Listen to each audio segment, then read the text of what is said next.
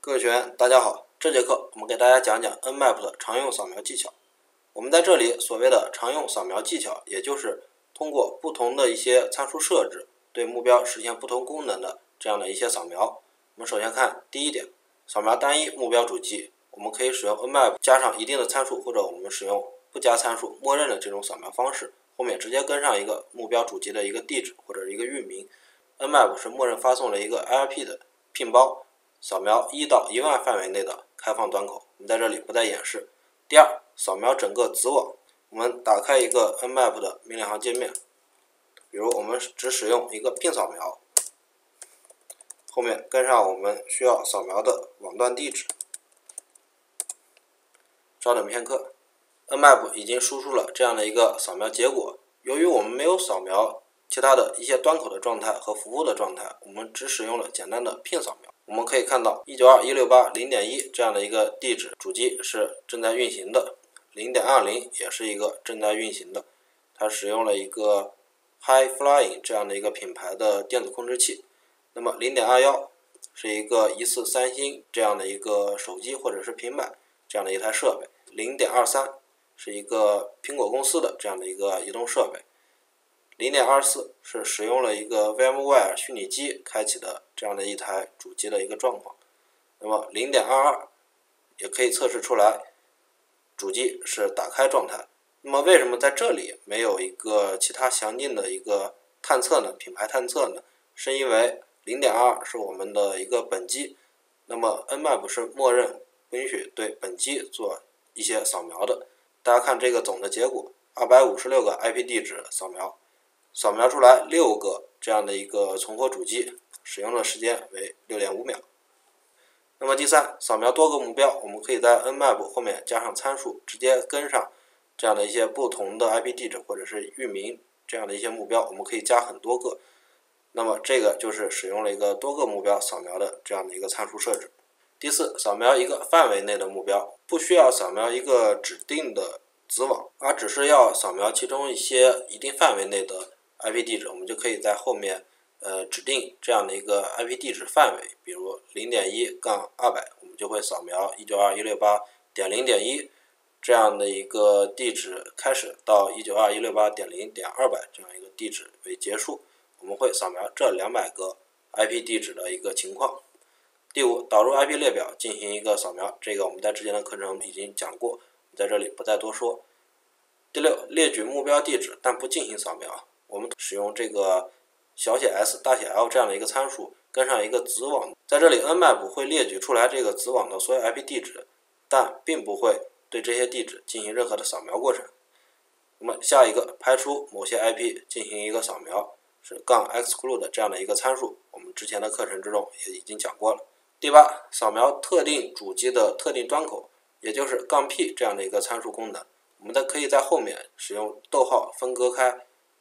添加不同的我们指定的要扫描的一些端口号，在这里也可以使用，比如五十杠九百这样的一个呃端口范围，对这样的一个参数进行一个设置。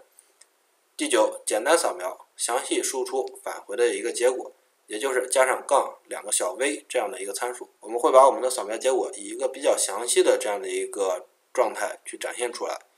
那么下面杠 trace route。这个我们之前的课程已经讲过，是录用跟踪的这样的一个功能参数。聘扫描不扫描端口。那么在这里特别需要提醒大家的是，如果大家使用的是 Linux 操作系统，呃，使用这个参数去进行扫描的时候，是需要向操作系统提供一个 root 的一个权限。下一个操作系统类型的探测杠大写的 O。那么我们在前面的课程也给大家介绍了这样的一个所谓的万能开关杠大写的 A 这样的一个参数。那么杠大写的 A 是包含了一到一万端口的聘扫描、操作系统扫描、脚本扫描以及路由跟踪、服务探测这几个功能结合在一起，是一个比较常用而且扫描的信息也比较完整的这样的一个呃参数。我们在以后实际的运用过程之中会经常用到的这样的一个参数。混合命令的这样的一个扫描，我们使用 Nmap 的时候要根据自己的一些需要，使用多个命令。去混合的实现一些功能，比如我们在这里使用了一个详细输出，指定了一个一到一千的这样的一个扫描端口目标，需要识别目标的一个操作系统，然后指定了扫描的目标为这样的一个子网范围，同时排除了这样的一个192.168.0.1这样的一个地址的主机的一个扫描。这个也就是我们使用 Nmap 的时候会经常用到的多参数组合扫描。再往下，如果我们需要使用 TCP SYN 的这样的一个端口扫描，可以使用杠小写 s 大写 S 这样的一个功能参数。扫描 UDP 服务端口，可以使用杠小写的 s 大写的 U 这样的一个参数。我们在这里给大家举一个简单的例子，还是打开我们的终端 Nmap 杠 ST 一九二一六八点零点一这样的一个扫描。我们稍等一下。好的，经过短暂时间的等待，我们的系统完成了这样的一个杠 S 大写的 T 的这样一个 TCP 连接扫描的一个过程。大家看，扫描出来了两个端口。这个时候，我们再运行一下杠小写的 S 大写的 U，我们扫描 UDP 的这样的一个服务，看看我们这个192.168.0.1这样的一个目标主机上面有没有运行一些 UDP 的一个服务。稍作等待，几秒钟的等待之后。大家看啊，这个扫描到了一个 UDP 的服务，是一个路由的功能。那我们在扫描这个五二零这样的一个端口的时候，状态是关闭的这样的一个状态。那么这个也就是给大家提醒一下，我们在扫描一个未知的目标主机的时候，我们并不知道它到底开启了什么样的一些服务，我们就需要使用多种参数，不断的重复尝试对目标进行一个扫描的一个测试。那么接下来。我们由于在扫描的过程当中，经常会遇到一些安全过滤机制，比如 IDS、IPS 系统。由于这些系统的存在，防火墙可能会阻止掉一些 SYN 的这种数据包。这个时候，我们就可以发送设置了一个 FIN 标志的一个数据包。我们不需要完成一个 TCP 这样的一个握手过程，也不会在目标产生一些扫描的这样的一个记录或者说日日志。那么这个参数，我们就需要使用 Nmap 杠小写 s 大写 F 去完成。第十九个服务版本的探测，杠小写的 S 大写的 V，这个我们在之前的课程之中已经说到了。最后给大家讲一下图形界面版本的对应使用。为什么说是对应使用？也就是说，图形版本的这样的一个 Nmap 也可以实现我们在命令行中通过不同的这样的一个参数的一个设置，实现的一些扫描的一个功能。我们打开一个图形版本的这样的一个 Nmap。好的，我们在这里把软件的界面拉大一些。大家看，我们可以在这里设置不同的这样的一个扫描目标。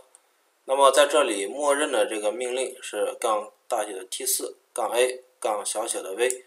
这个是什么意思呢？也就是它设置的默认时间级数是 T 四，是一种扫描速度比较快的这样的一个时间级数。杠大写的 A，我们在刚才介绍了一下，它包含了哪些扫描的这样的一个内容。杠 V，也就是我们对应的呃命令行中杠两个小 v 这样的一个详细输出这样的一个参数。那么我们在这里也可以有一些预置的这样的一个扫描配置，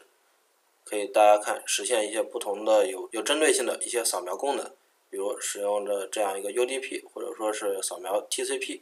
呃我们不 pin 它，直接的去扫描，呃只单独的 pin 它进行扫描等等。我们在这里可以过滤一些主机，可以进行一个结果的一个对比。我们在这里还可以呃配置一下我们的扫描。大家看，在这里配置，我们可以设置一个配置的文件名称。扫描，我们在这里可以使详细的一个设置 TCP 的，或者说是呃不包含 TCP 的这样的一个扫描，它的时间模板。我们看，可以在我们之前课程中已经说到了零到五这样的一个。选择，呃，是否使用操作系统检测，也就是是否使用这个杠大写的 O，是否进行版本探测，也就杠 SV 这样的等等很多参数，我们可以在这里很图形化的去对它进行一个选择，甚至我们需要调用的脚本是哪一个，我们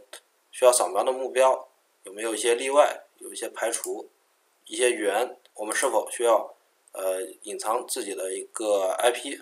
等等，在设置完这些详细的一个选项之后，我们就可以点击这样的一个扫描，对我们的扫描目标进行一个正式的扫描工作。在这个空白窗口处，我们会显示出来这样的一个详细的一个扫描结果，并且可以通过不同的这样的一个界面去查看你所关心的这样的一些扫描结果的一些问题。好的，给大家布置一点课后作业，我们需要尽可能多的尝试使用不同的参数组合进行一些复杂功能的扫描，希望大家在课后自己练习一下。这节课我们就讲到这里，感谢大家的观看，再见。